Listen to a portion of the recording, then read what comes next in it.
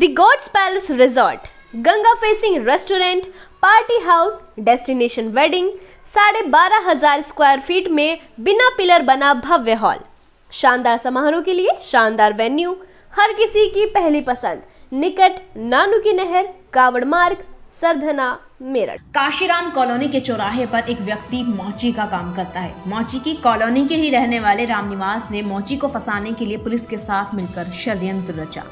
रामनिवास ने मौसी के ठिए पर मांझे सुल्फे मौसी की पुड़िया रख दी ताकि मौची रंगे हाथ घटनास्थल पर पकड़ा जा सके। जानकारी समय रहते कॉलोनी निवासियों को लग गई। कॉलोनी के लोगों ने मौची को इस फर्जी घटना से बचा लिया। बता दें, रामनिवास मौची का ठिया हटाकर उसके ठिए पर अपना अवैध कारोबार करना चाहता था। मौची के मना करने पर इन लोगों ने मौची के छप्पड़ में आग भी लगा दी थी।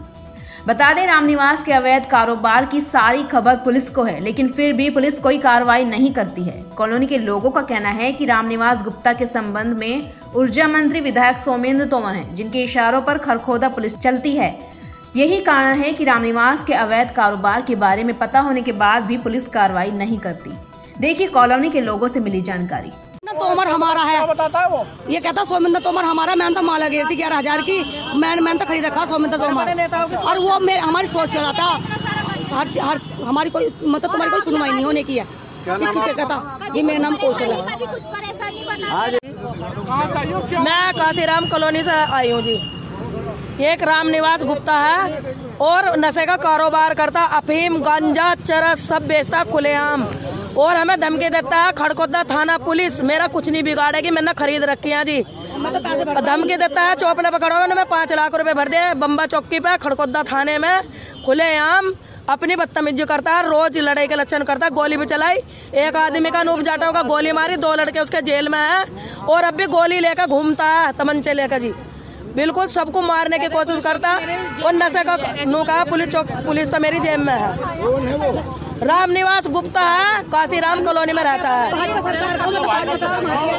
दो लड़के उसके जेल में हैं, और जी सर, वो अभी जेल से छुटका आया राम निवास गुप्ता।